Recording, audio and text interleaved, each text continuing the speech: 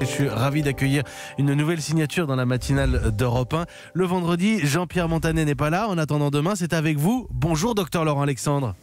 Bonjour Mathieu. Spécialiste des nouvelles technologies, on vous connaît, on vous suit, on vous lit. Euh, Laurent, l'espérance de vie a, a triplé en France.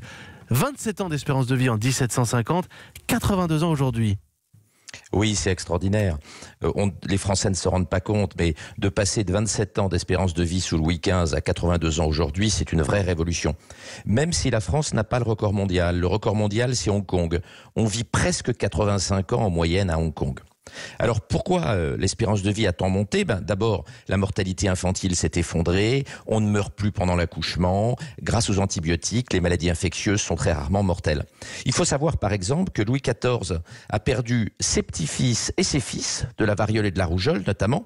C'est d'ailleurs pour ça que Louis XV est son arrière-petit-fils.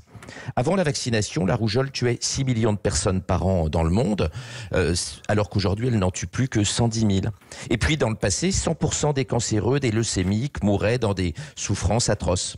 Les Français se rendent pas compte, mais avant l'invention de l'appendicectomie, en 1888, par le docteur Kraft à Lausanne, quand son gamin avait une appendicite aiguë, eh bien il mourait. On appelait le curé, puis le croque-mort. Ah oui. Et on mourait de maladies totalement euh, banales.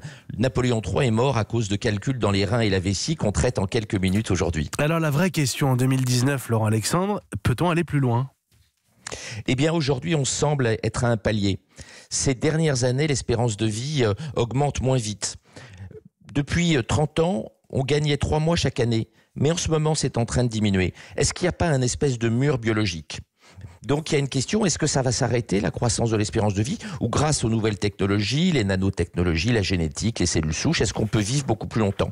Alors dans la Silicon Valley, on y croit. Le patron de Facebook, Mark Zuckerberg, consacre une large part de son immense fortune dans un plan pour éradiquer toutes les maladies humaines d'ici 2099.